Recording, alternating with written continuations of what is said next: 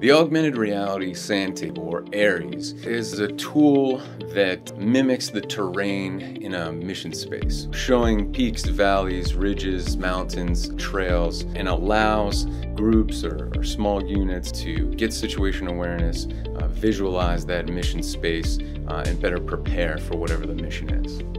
The early ideas of the sand table, for, from our points of view, was a was a foam static table that was as best as we could developed to the terrain features, the topography of the training area that we use.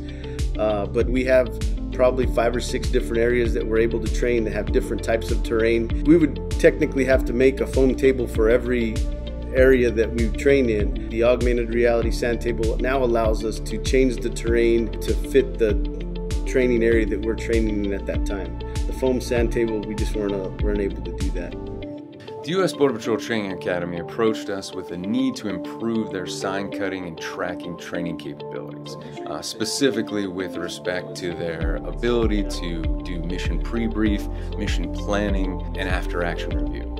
You're able to upload maps areas, uh, areas of operation, whether it be on the border in a, a sector area or station responsibility, or, or a training area for, uh, such, such as our academy.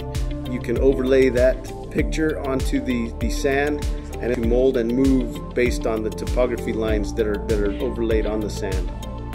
After the U.S. Border Patrol Training Academy conveyed their needs, S&T tapped its network of federal partners, industry, academia, and other national laboratories uh, to see what was out there and what we call tech scouting. S&T decided to go with the augmented reality sand table because it was the perfect combination of low-cost commercial off-the-shelf components, government-owned software, the reliability that could benefit Border Patrol agents in the field and at the training academy. Because we're able to bring the students in and have them observe uh, the terrain that they'll be working in. We could have them come up with a terrain analysis prior to them even running through a scenario. We could record the, the scenario that they went through, play it back, and they could discuss pros and cons of the type of interdiction that they used. The augmented reality sand table also has all sorts of other enhancements and capabilities that are coming along, including a, a floor projected option for briefing larger groups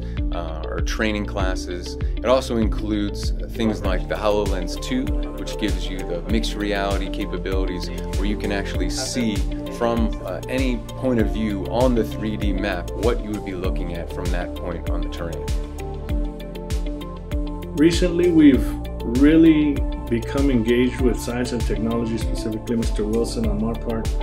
And uh, I, I, feel personally that we've grown and, and created a great partnership, even more so here recently within the last couple of months and I hope that it continues. And we're here to help each other out, and it's been nothing but positive 100%.